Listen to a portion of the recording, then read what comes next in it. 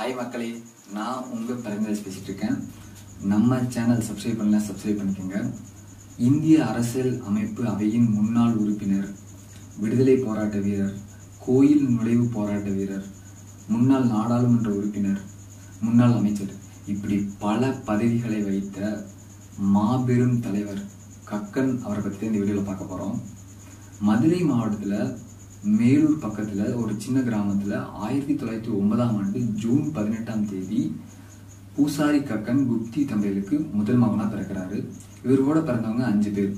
அந்த காலத்திலேயே எஸ்எஸ்எல்சி முடித்த கக்கன் அப்போது மதுரையைச் சேர்ந்த வைத்தியநாதர் அப்படிங்கிற ஒரு ஆள் கூட வந்து பார்த்தா அறிமுகமாகிறார் அந்த வைத்தியநாதர் முன்னாள் காங்கிரஸ் தலைவர் வழக்கறிஞர் விடுதலை போராட்ட வீரரும் அப்போ இருந்திருக்காரு.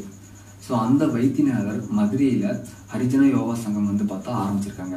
அந்த சங்கம் வந்து இரவு நேர பள்ளிகள் அப்புறம் வந்து அந்த இரவு நேர பள்ளிகளுக்கு பொருட்கள் வழங்குதல் அதோட மேற்பார்வையாளர் இப்படி பல பொசிஷன் வந்து பார்த்தோம்னா கக்கனுக்கு வந்து கொடுக்குறாரு. ஸோ வைத்தியநாதரோட சேர்ந்து கக்கன் வந்து பார்த்தா செயல்பட ஆரம்பிச்சிருக்காரு. ஆயிரத்தி தொள்ளாயிரத்தி முப்பத்தி நாலாம் ஆண்டு மதுரை வரும் மகாத்மா காந்தியை சந்தித்த கக்கன் அவர் கூட வந்து பார்த்தா ஒரு பெரிய அறிமுகம் கிடைச்சிக்குது.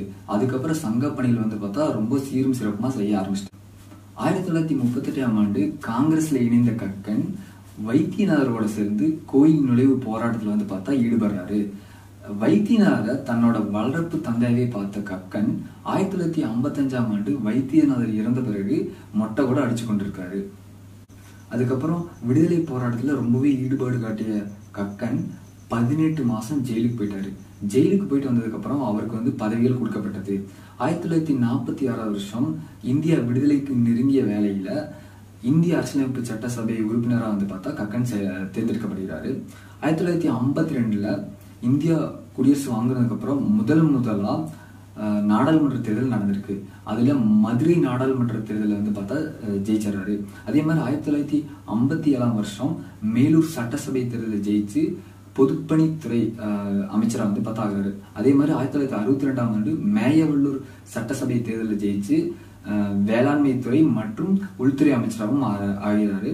அவரோட இத்தனை காலம் அரசியல் வாழ்க்கையில் வந்து உள்துறை அமைச்சராக இருந்தப்ப இந்தி திணிப்பு போராட்டத்துல துப்பாக்கி சூடுகள் நடத்தி உயிர் போனதா சொல்கிறாங்க சொல்றாங்க. அதுதான் வந்து பார்த்தா அவர் ஒரு விமர்சனமா அவரை பத்தி பேசப்படுது. அதுக்கப்புறம் ஆயிரத்தி தொள்ளாயிரத்தி அறுபத்தி ஏழாம் ஆண்டு நடந்த எலெக்ஷன்ல கக்கன் வந்து தோத்துறாரு.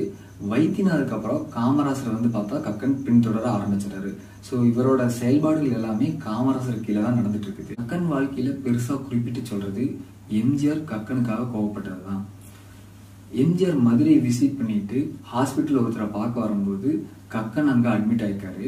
அதுவும் சி வார்டில் அந்த சி வார்டுங்கிறது சாதாரண மக்கள் அட்மிட் ஆகிற ஏரியா தான். ஸோ அதை பார்த்த எம்ஜிஆர் கோவப்பட்டு இவர் அரசியலமைப்பு சட்ட உறுப்பினராக கூட இருந்திருக்காரு.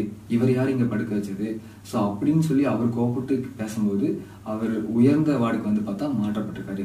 இந்த சம்பவம் வந்து பார்த்தா கக்கனோட வாழ்க்கையில ஒரு பெரிய சம்பவமாக பேசப்படுது. அது மட்டும் இல்லாமல் ரொம்ப எளிமையாகவும் ஒரு சாப்பிட்றது கூட ஒரு சின்ன கடையில் சாப்பிடுவாரம்மா ஸோ நம்ம காமராசர் எப்படி இருந்தாரோ அதே மாதிரி தான் இவரும் கிட்டத்தட்ட இருந்திருக்காரு. ஸோ இவர் யார் யாருக்கு யாரும் இவருக்கு ஏதாவது கொடுத்தாலும் அதை வேணாம்னு சொல்லிடுவாராம்மா அப்படியே வாங்கினாலும் எப்படி திருப்பி தர்றது அப்படின்னு தான் யோசிச்சிருப்பாரு. ஆயிரத்தி தொள்ளாயிரத்தி எழுபத்தோராம் ஆண்டு நடந்த நாடாளுமன்ற தேர்தலில் ஸ்ரீபெரும்பூர் தொகுதியில போட்டியிட்டு கக்கன் தோல்வி அடைகிறாரு அதுக்கப்புறமா பொது அளவில் மெல்ல மெல்ல விலக ஆரம்பிச்சிட்டாரு. ஆயிரத்தி தொள்ளாயிரத்தி எண்பத்தோராம் ஆண்டு உடல் நலக்குறைவால் கக்கன் டிசம்பர் இருபத்தி மூணாம் தேதி இறந்துடுறாரு. கக்கன் போன்ற ரொம்ப எளிமையாகவும் நேர்மையாகவும் வாழ்ந்த தலைவர்கள் நம்ம நாட்டில் ரொம்பவே கம்மியான நம்பர் தான் இருக்காங்க. ஸோ இந்த ஒரு வீடியோ மூலிமா கக்கன் அப்படிங்கிற ஒரு மாபெரும் தலைவரை பற்றி உங்களுக்கு நாங்கள் சொல்லியிருக்கோம். ஸோ இந்த வீடியோ உங்களுக்கு பிடிச்சிருந்ததுன்னா நீங்கள் ஷேர் பண்ணுங்கள் அதே மாதிரி உங்களுக்கு இது போன்ற தலைவர்கள் பற்றி தெரியும்னு நீங்கள் விருப்பப்பட்டீங்கன்னா கமெண்ட் பாக்ஸில் போடலாம். அண்ட் ஆல்சோ நம்ம சேனல் சப்ஸ்கிரைப் பண்ணுங்கள்